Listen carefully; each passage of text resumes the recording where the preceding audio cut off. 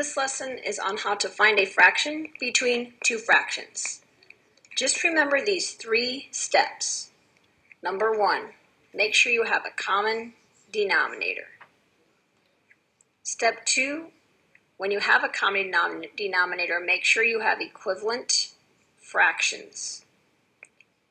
Step three, when you have those done, just make sure you keep the denominator and then you have to choose a number between the two new numerators you found. Let's see how this works.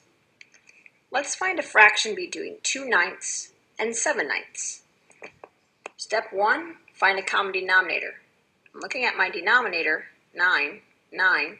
That's the same, so I can skip that step. I already have fractions that work, so I can skip step number 2 Step number three says keep the denominator. Well, I have two nines, so I'm going to keep the 9. Now I have to choose a number in between my numerators. I need to choose a number between 2 and 7.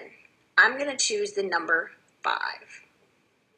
My fraction in between is 5 ninths. Let's find a fraction between 1 fourth and 2 fifths. Step one, we need to find a common denominator. I'm just going to take 4 times 5, and that's 20. That will give me a common denominator. And I'm going to write that on both sides.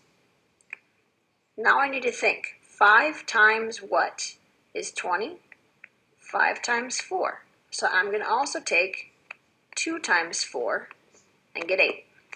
On the other side, 4 times 5 is 20. So I'm going to take 1 times 5 and I get 5. I just made equivalent fractions. Step number 3.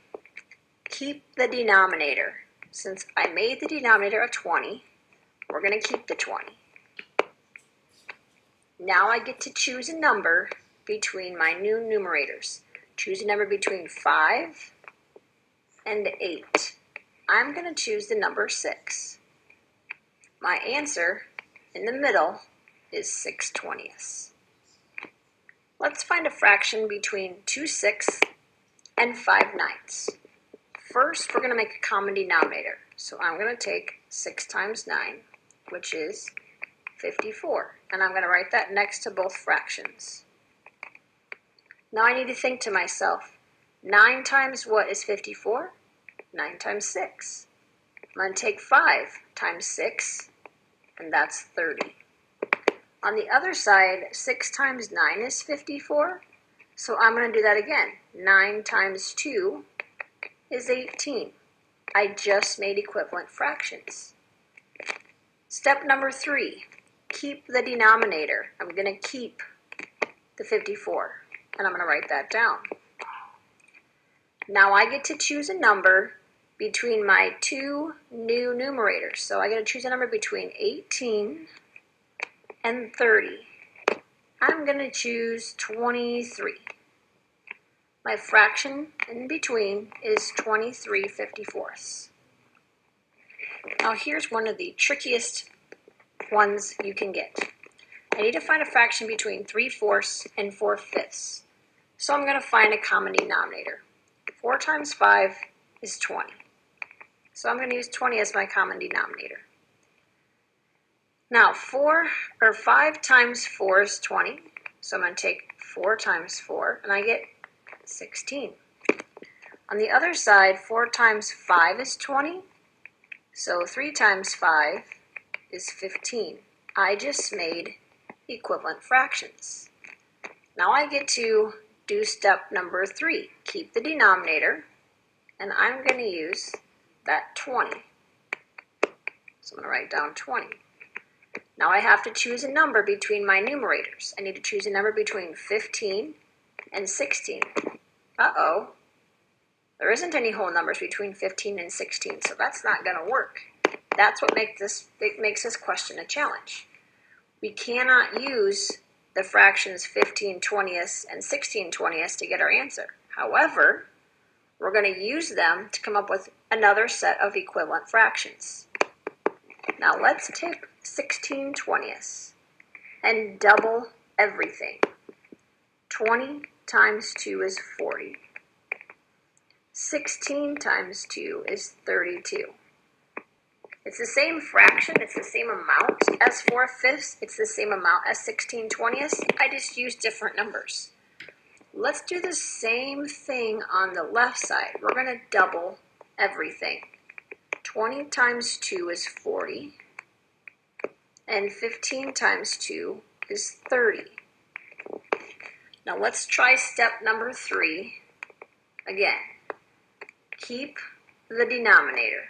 Well, now we have a 40 as our denominator. So let's try 40. And now we're going to choose a number between our two new numerators. Choose a number between 30 and 32. Now we have one. 31 is in between. So my fraction in the middle is 31 fortieths. Now I want you to find a fraction between 2 thirds and 7 eighths. I'm going to do a common denominator of 24. 8 times 3 is 24. 7 times 3 is 21. On the other side, 3 times 8 is 24. 8 times 2 is 16. I made equivalent fractions. Now I'm going to do step 3. Keep the denominator. I'm going to keep the 24. I need to choose a number in between my two new numerators, so a number between 16 and 21. I have lots of choices. I could choose 17, 18, 19, or 20. I feel like choosing 17. That is my answer. Now I want you to give me a fraction in between 1 third and 5 sevenths. I'm going to find a common denominator. 3 times 7 is 21. So I'm going to use 21 for my common denominator. Now I'm thinking 7 times 3 is 21. So 5 times 3 is 15. On the left side, 3 times 7 is 21. And 1 times 7 is 7. I have my equivalent fractions. Now I'm going to do step number 3. I'm going to keep my denominator. Looks like I'm using 21, so I'm going to keep 21. I need to choose a number in between my new numerators. I need a number between 7 and 15.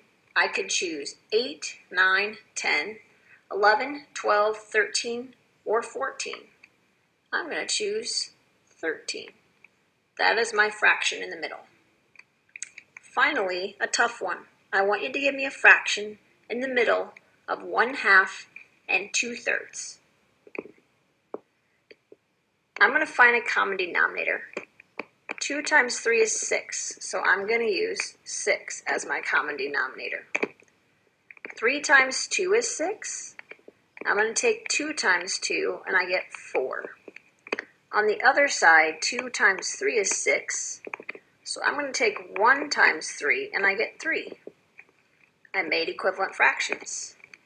Step number 3 says keep the denominator, so I'm looking. I'm going to keep 6. Now choose a number in between your two new numerators. I need a number between 3 and 4. Uh-oh.